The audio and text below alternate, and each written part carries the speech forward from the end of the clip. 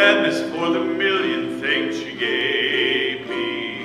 Oh means only that she's growing old. T is for the tears she shed to save me. H is for her heart of purest gold.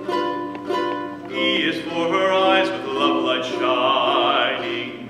R means right and right she'll always be